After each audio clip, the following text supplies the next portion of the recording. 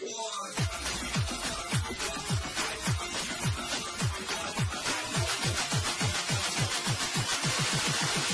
two, three.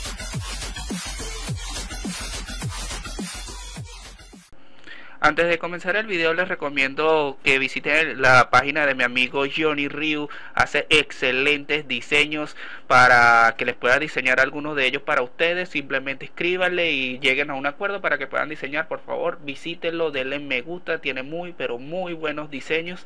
Y también visítenlo en YouTube. Aquí tienen su canal para que puedan visitarlo y suscribirse.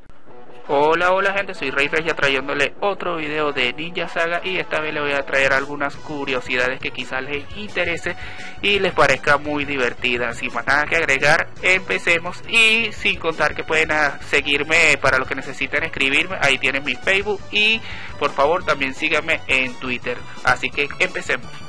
Para empezar, estos primeros jutsus que dieron de evento hace muchos años, estos llevan como más de 5 años y no los han vuelto a dar, lo dieron en un segundo evento que fue el que le decían el evento de los Power Rangers de la manera vulgar.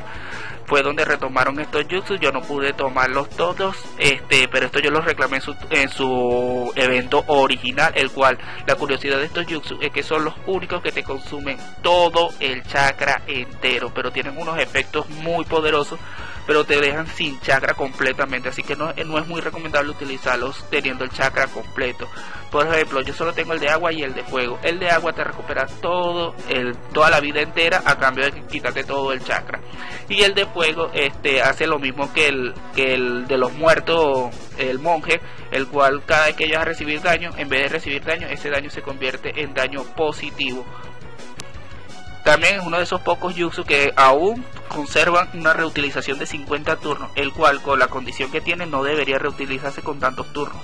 Otro dato curioso sería combinar el Senjutsu de la serpiente con esta arma de Kryu, la cual es de la Season 6, te da uno de agilidad y este la reducción de consumo de 40%. No tiene mucho este para algunos no tiene mucha validez, pero si lo combinas estos dos para aquellos ocho extremidades que se les quedan rápido sin chakra, esta combinación es muy brutal porque ocho extremidades aprovecharía ese uno de agilidad. Y gracias a esta combinación, el talento y los jutsu no le van a consumir casi chakra, sobre todo el Susano y otro que otro jutsu que a veces consumen mucho chakra. El consumo estimado es de 45%, todos tus jutsu solo te van a consumir el 45%.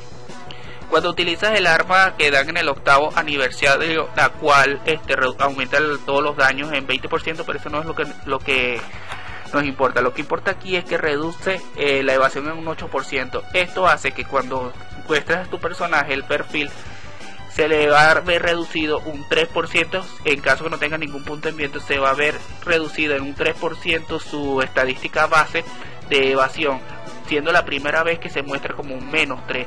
Como están viendo la cuenta de Brandon, que por cierto saludos, que fue el que nos dio esta idea, muestra que ahí está menos 3, ya que él es uno de los que utiliza ese, ese back Según él, todavía sí puede seguir evadiendo, pero no estoy seguro, no es algo confirmado.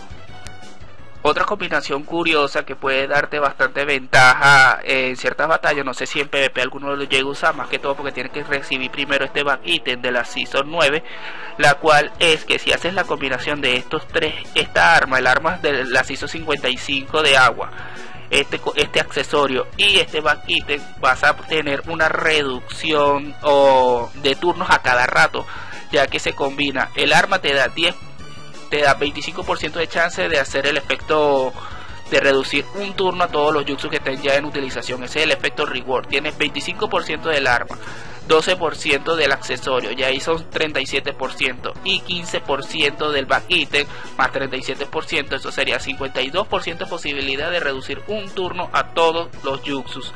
En otras palabras, a cada rato se le va a reducir un turno a los jutsu y aquellos full viento, 8 extremidades son los que más sacarían provecho de esto. Claro, el consumo, tienen que tener un excelente consumo de chakra porque se van a quedar sin chakra muy rápidamente. Pero también es muy buena combinación para los full agua. ¿Sabes lo que tiene 52% de cada rato se active el efecto reward y reduzca un turno a todos los jutsu? Full viento es el que más lo utilizaría. Más si tiene rapid cooldown, reutilizarías muchos jutsu de manera muy rápida. Con esto me despido, gente. Espero que les haya gustado todas estas curiosidades. Son pequeñas porque ya no hay tantas así como antes. ya he hecho muchos videos de curiosidades y sabías que de Ninja Saga para los que necesiten saber ahí les dejo la lista de reproducción hasta la próxima cualquier duda me lo dejan en los comentarios y cualquier curiosidad también